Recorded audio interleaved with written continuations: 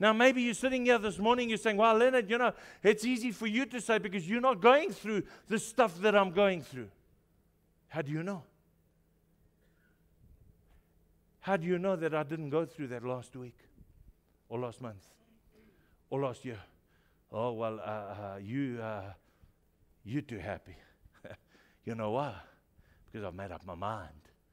I've made up my mind that I'm not going to allow the enemy to bully me. I'm not going to give him the privilege of, of seeing me uh, down and discouraged.